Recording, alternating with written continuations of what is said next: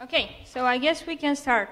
Uh, you've seen me around today, um, so I'm just gonna do a quick introduction. Um, I'm Anemari Fiser. I'm a senior consultant at ThoughtWorks, and I'm afraid of hedgehogs. Uh, yes, these little things that everyone is calling cute. Um, but I'm not here today to debate either these things are cute or scary. I'm here to talk to you about programming to extreme. So, first question How many of you have heard uh, about extreme programming before? Perfect. I see hands. That's good. Okay, so let's start first with what extreme programming is. So, extreme programming is a software development methodology invent, um, developed primarily by Kent Beck. So, uh, event programming has been around for years. It's one of the first uh, agile methods. It was very dominant in the late 90s, but then became less dominant when Scrum uh, started to, took, uh, to take over. So, most important than what extreme programming is, it's what's the goal of extreme programming. So the goal of extreme programming is outstanding software development. And this, after all of these years, still makes sense. In any software development team, this goal still makes sense. So um, the same teams that are struggling today to build uh, software, to build software that is good, they can do this work way better. So let's, is this working? Okay. So in the end, the purpose here is not to uh, talk about an extreme team. It's not to talk about extreme programming because, like I said, it's been around for, for many years. But what's important is what it left behind. And we're talking here about the values, the principles, um, because in the end, what the software development team wants in the day to day is to write code that is good for business and provides real value to the uh, customer, but also to the programmers. So, um, in order to explain you the idea of uh, extreme programming, just to be a little bit more clear about what we're talking to today, about today, I'm gonna uh, talk about these three terms. So values, practices, and principles. I like very much this picture because it shows you very clear the, um, the relation between these three terms. So values are very high level, right? So they are just a reason why practices happen. Practices are very clear, and they are the evidence of the values being there. Now, values are too abstract to actually drive any behavior. This is why we have principles that act as a bridge between values and practices. Now, let's move on to the values. So, uh, the values of, that come from extreme programming and are still make sense today in the software development uh, these days First one, problems with projects can invariably be tracked back to somebody not talking to someone else about something important. This is about communication. Communication is the base of our work, or if it's not, it should be. Communication helps us uh, have better teams and provide better software. The next value is simplicity. Simplicity is a hard thing to achieve today. Uh, finding the better solution uh, it's easier than finding the simple solution. But we cannot deny the value of simplicity. A code that is simple, it's easy to maintain, and it's easy to understand. So, next value, I think this is pretty clear. I'm important and so are you. This value represents respect. Is this easy? We all need to, uh, all the teams, all the members of the team need to respect each other and respect the work they are doing. If you know what the problem is, do something about it. This takes courage. A lot of courage to come in front and tell to the team that something is not working or maybe you broke something and try to fix it as quick as possible. And the last one, but not the least important, it's feedback. So, uh, software development teams today are trying to provide as much feedback as they can handle as quickly as possible. Uh, a weekly um, feedback cycle should not have more, should not take longer than minutes or hours in order to be efficient. The sooner you know the problem, the sooner you can fix it. Moving forward to the principle, which I said are the bridge between the values and the practices. So there are a lot of principles coming from extreme programming. I'm just going to talk about some of them that I still, I think they still make, make a lot of sense in these days today. So first one, humanity. People develop code. It's that easy. We should never forget this. We should never remove the humanity from, from software development. Next one, it's diversity. If we build team with people coming from different backgrounds, with different skills, then we can challenge any, any problem. We can put multiple solutions on the table and we can debate them in order to find the best uh, way of moving forward. Accepted responsibility. Responsibility cannot be assigned. It can only be accepted. No one can tell you what to do. You're not going to do it only if you want to do it. Failure. Now, this is a very interested, uh, interesting principle because I think the majority of people are looking at failure as a bad thing. I think the moment you start looking at failure as an opportunity instead of a bad thing, you can really get something out of it. So let's say you have a problem that has three solutions and you don't know which one to pick. Just try all of them. Even if you fail in all of the three situations, you're still going to have some good feedback and learning to move forward. And most important, failure brings improvement. Improvement, we should always strive to improve ourselves, improve our, uh, our software and improve our work. All of these things you can see here are failures before, are tryings.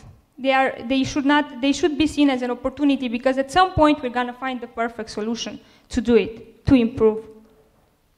Now, practices. So uh, I'm going to go to the practices really quickly because the purpose of my presentation is to show you a real scenario where we um, apply these practices every day. So I'm just going to explain them a little bit and then I will move uh, forward to the, to the real scenarios. So, sit together and whole team. A whole team needs to sit together. It's that easy. It comes together with the value of, of communication.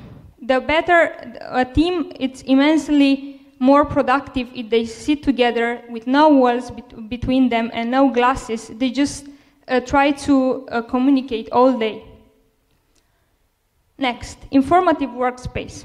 So the space around us, at our team, when I mean around us, I mean a, a team, should reflect the work you're doing, should reflect how you do it.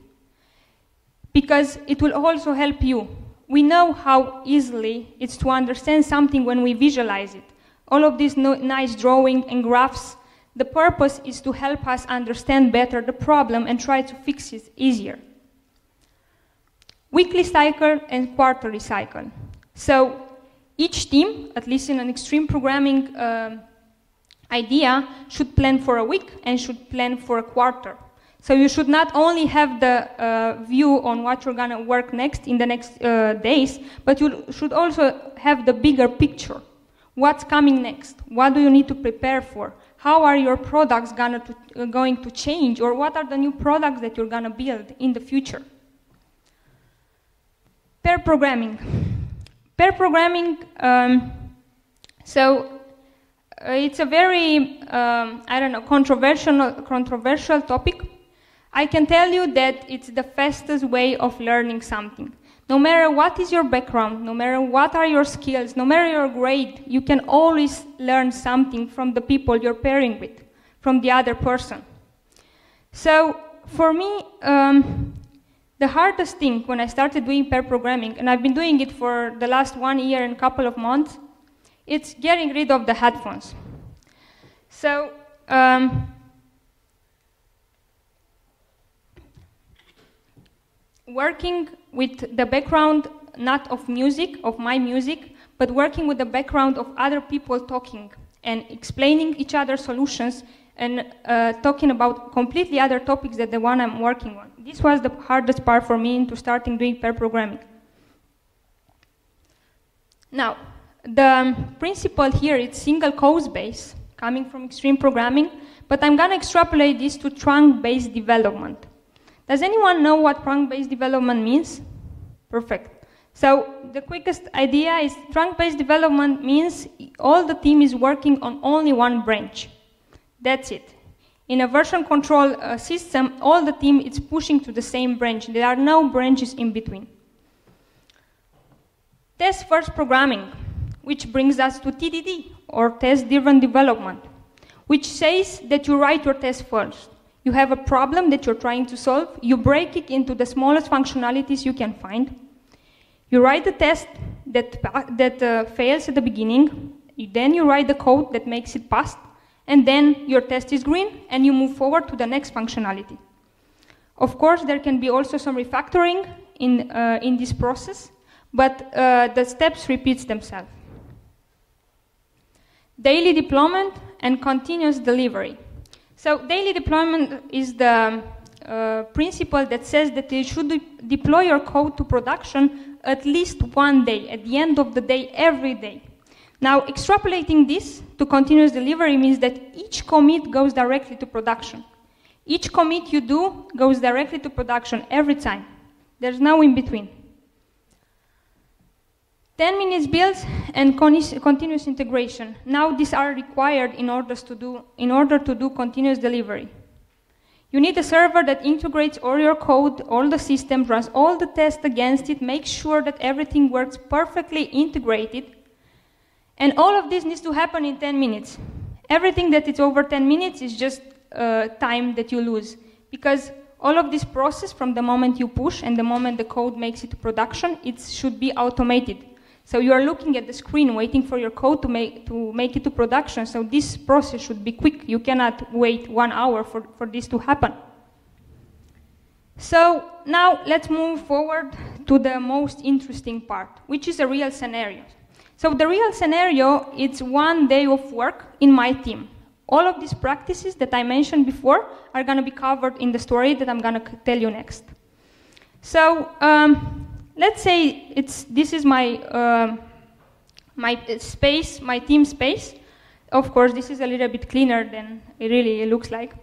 But uh, you, as you can see, there are no walls around. There is a big uh, table with a lot of chairs around it.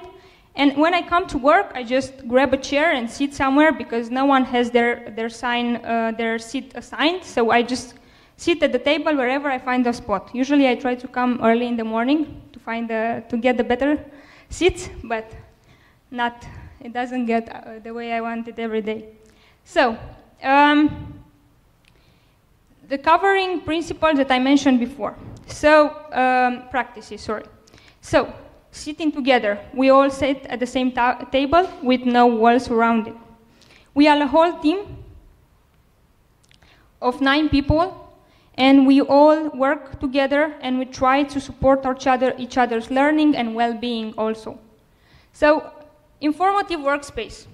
Our all, the walls around us are full of charts and graphs and retroactions, so anyone who comes by our uh, space at any point can easily figure it out, what are we working on and how do we do that. So, next, in order to start working, we need to plan. So we plan for a week and we plan for a quarter. Every Monday we have our daily, uh, we have our grooming, which takes an hour. And when uh, we decide, our product manager tells us, okay, what are the priorities? And we estimate and we start working on that. But also every quarter we have a meeting with all the stakeholders, which we try to understand what are the um, features that are going to come next in the next quarter so we, we can prepare for that. Maybe we can build a better solution for, for our uh, current system that will prepare for, for those future changes in the products or the new project, products that are coming. So all the team is aware of what's coming. How do we work together? We do pair programming every day, eight hours a day, five days a week. How do we develop code? Now, this might look a little bit complicated, but once I, I talk you through it, you'll see it's, it's actually pretty easy. So we follow the uh, test-driven development, which means, uh, let's say we have a small task, we broke it into small functionalities. We start by writing the red test, we write some code, we make it pass, maybe do some refactoring, which just, uh, it's gonna repeat the three, the three steps. And once everything is done, we run all the tests to make sure that all the code works uh, well integrated. And now we can say that the task is ready. But it's not done. So in our team, in order to say that the task is done, the uh, code needs to make it to production. So after the, we uh, say the task is ready, then we just push the code. Now we use only one branch, like I mentioned in the practices before. So um, before pushing, maybe we have some code coming from the upstream, but we, we fix the conflicts, and then uh, let's say it was a, a, a, easy one, and we move forward. So from now on, we just sit back, relax, and we look at the screen, maybe watch some funny videos, because uh, all of this is automated. We don't have to do anything. So from the moment we push our code from our local machines, the CI server, which is the continuous integration server, picks up all the changes. It runs uh, all, it integrates with all the other changes in the system, and runs all the tests again, uh, against it, and makes sure that everything works properly and nothing breaks. So after this, is everything gets uh, clear and everything happened in 10 minutes um, or less. Uh, if everything is uh, okay and the build is green, all of these changes go to the stage environment. The purpose of the stage environment is just to test the scripts that are uh, automating um, the work of pushing the code from, from one uh, stage to another. So if everything is green, the code makes it to production. And now we can say that uh, our task is done. So um, I, I think I covered all the, I, I hope I didn't miss any of the practices uh, from, in this story that I mentioned before, because what's important here is that they all need to kind of work together in order to achieve this whole process. Like you can't just do one single thing in order to achieve continuous delivery. Okay, so um, this being said, I would invite you to try it out. So don't try it out all at once. Um, just try small pieces of it. Take a small practice and just play with it. See how it works for you. I can tell you the benefits are, are gigantic. I, I've tried it uh, since, since I joined ThoughtWorks, so honestly for me it's a completely different way of looking at software development. Now, at the beginning you might feel like this, but it gets better. Try, uh, sorry. Uh, so, stay aware, adapt, change. Once you understand, this is actually the paradigm of extreme programming, but that's not important. What's important here, what's important is that you need to understand that if you want to change something, that ch change comes from you. You're the, the easiest change you can do, it's in yourself or in the way you work. Now, um, change starts with awareness.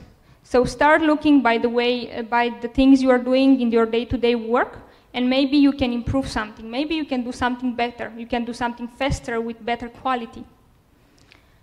So, um,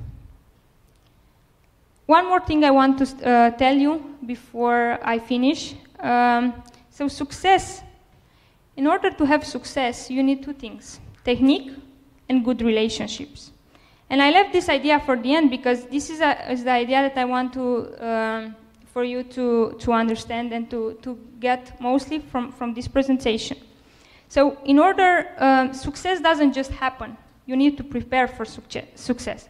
You can just uh, sit behind uh, avoiding success. You need to try things out with the risk of things not working and face the consequences. Of course, that can leave you a little bit exposed. That can make you feel a little bit not comfortable. But this is why you need the good relationships. You need a safe environment where you can say your opinion, when you can speak up, not being afraid that you're going to be judged, or uh, and making sure that you're going to be listened and your opinion will matter.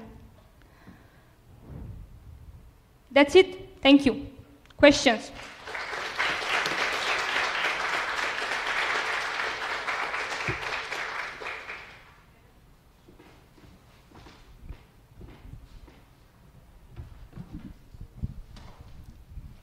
Have a question about uh, the practice of sitting together as a whole team.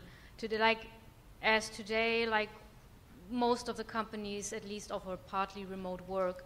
How highly would you value like really being physically like next to your uh, developers, next to your colleagues?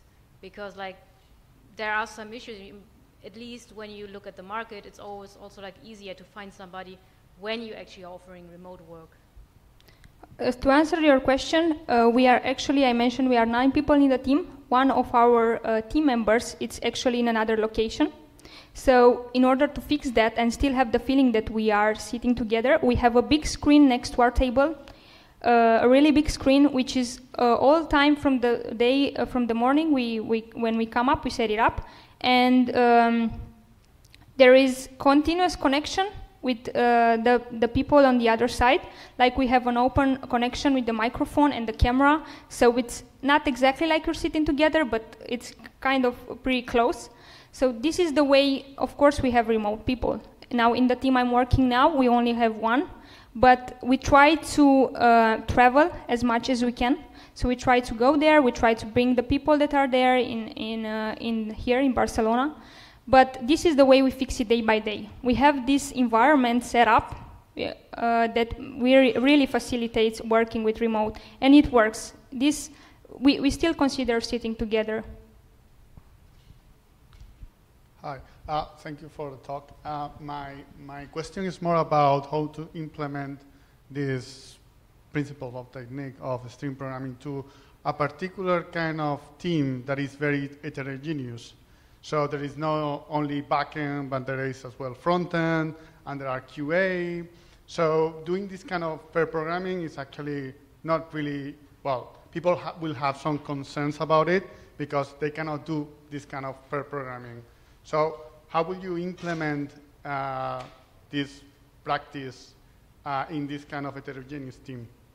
Pair programming, you mean? Yeah, I mean like all this team, uh, because pair programming is the, the big concern. Yeah.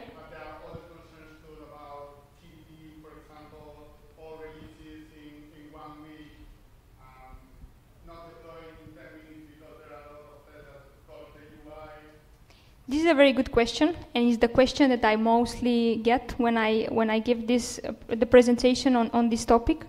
Um, and yes, it's hard to get here. It's the first time that I'm in a team when we actually managed to do it end to end, like a really in uh, fully uh, continuous delivery process. Um, I've seen it implemented in smaller steps before. Like I said, you uh, I don't know. I think that the team needs to start by um, adopting some, some of the practices. So if you cannot do pair programming, you can still do the other practices.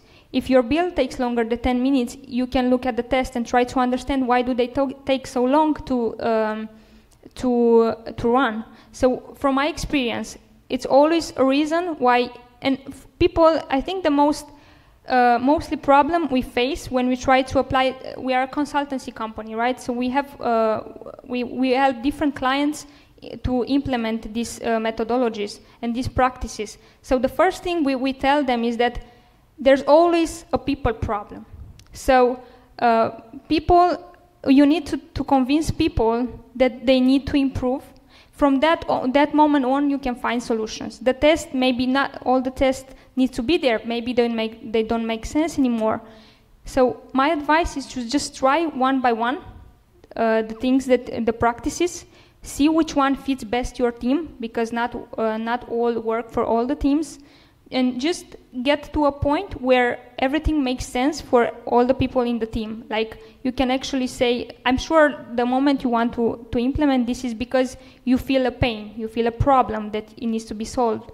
So the first thing is to understand exactly what's the problem and get to a common um, understanding with, with the team and, and start from there. The, the practices can be independently applied. When we talk about pair programming, when we talk about the whole stream of continuous delivery, you can still make parts of it, like you can still make the, the, um, the 10 minutes build, you can do the trunk-based development, which you can, if you have questions after, you can ask because it's a, it comes with a lot of things, but uh, of course you can implement small parts of it and still see the benefit. I hope this answers your question.